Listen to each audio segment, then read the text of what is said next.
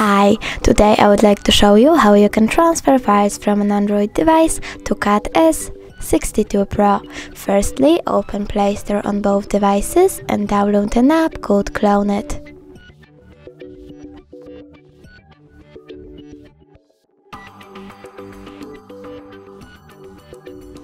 Now open it.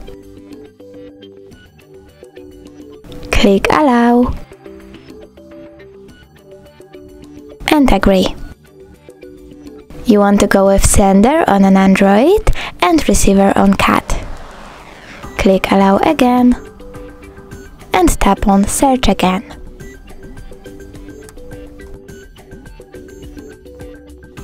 Tap on available device and from here you have two ways to connect.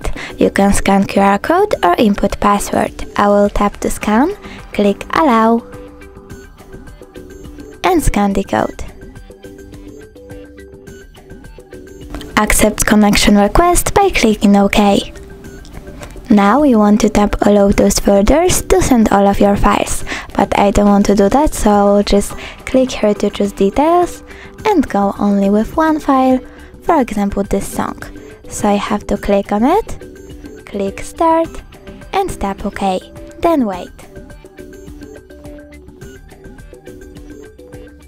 click finish and now when I go into for example folder files and choose audio I can see that my file was successfully transferred.